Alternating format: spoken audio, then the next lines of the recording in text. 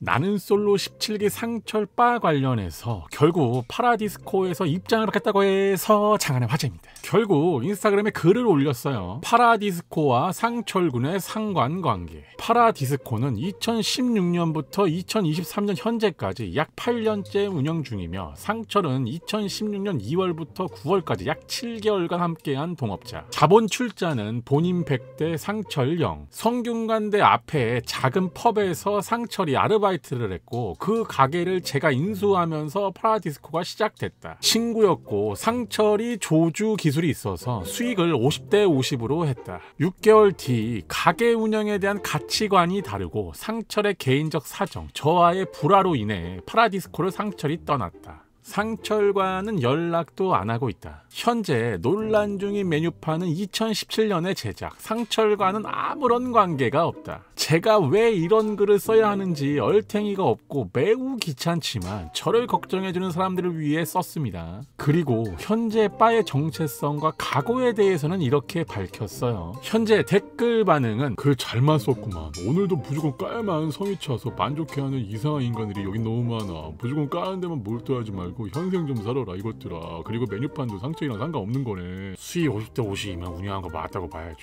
주식회가 자금 되고 실질 운영은 상처한테 맡긴 거구만. 빠운형으로 까는 거 억까라고 봄. 근데 현숙이 술이나 만들던 놈이랑 결혼하는 건 싫어. 근데 그럼 낯설 나와서 빠쳐졌다는 거 거짓말하는 거잖아. 어디서 뭐하느라 시간 보냄? 어쩐지 사장 두 명이라는데 인스타 앞만 봐도 한 명만 생일 축하하더라. 크크크. 예전에 사이가 별로였다고 하더라도 술 이름이랑 상처는 관련 없다고 좀 겸손하게 썼으면 그 홍보되고 좋았겠지만 그 역시나 술집 사장 머가리로는 그 정도 생각은 못하지 그 얘들아 이제 18기 보자 판박씨 말이 맞아요